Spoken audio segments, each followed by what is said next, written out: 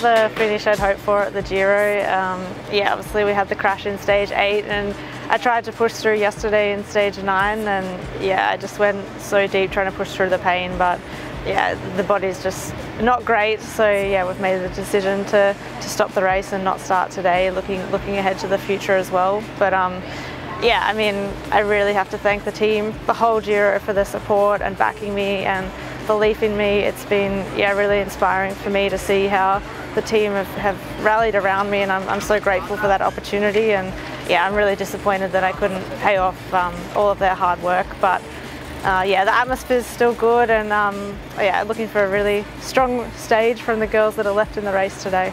Overall, this Giro wasn't exactly what we came here for. We, we planned for a better result and prepared for a better result, so uh, the overall feeling is a little bit sort of deflated, but um, you know, I'm here now talking to you before the last stage, so I'm still feeling positive. We've got one more opportunity, one more day, uh, one more chance, and we're gonna take it. Yeah, so personally, I think day by day I feel a little bit better. He was a little bit, I think, unlucky Giro. We lost uh, three riders with a with a really unlucky crash, but I think we show our fighting spirit, and I think it's uh, like the, the best of, of the Giro. Yeah, I think uh, the GC is already done, so I think it's a breakaway day.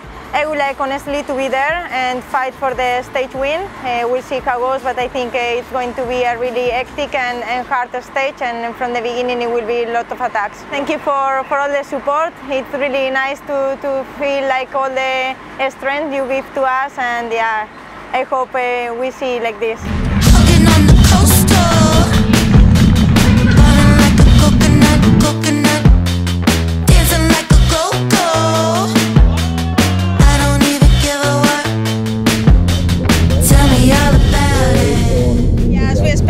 Was a really hard stage.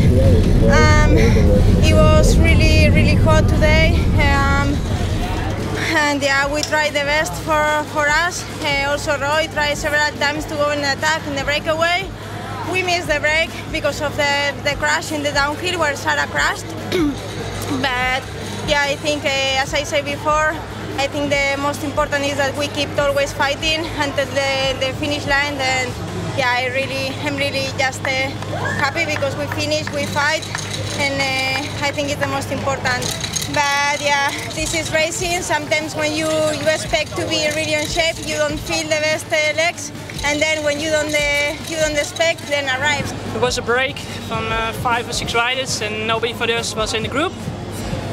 And then uh, the sport director say, yeah, we need to close the gap and then I go to the front, but uh, I want to make the pace high, but then I was alone.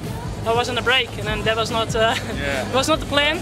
And then uh, Martin say uh, just easy, uh, go to the peloton, and then I did the team time trial. Of a time trial, I think from 10 kilometers to make the pace high and try to close the gap. Yeah, yeah, a bit of bit of the road from Italy. um, no, it, it was good racing apart from my crash bit of a roller coaster and up, up and down for us, but um, no, I think we all did pretty well as a team, did what we could. Well, there's uh, always some positive to to find with uh, with races, and you know, always learn something. But uh, it's been 10 uh, really hard and frustrating days.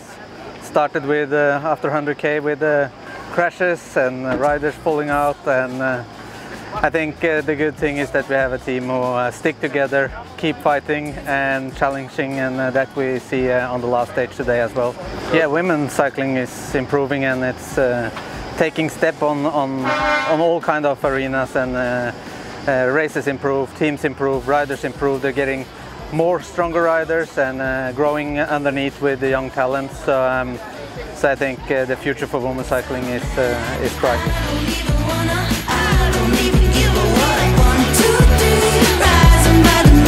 One.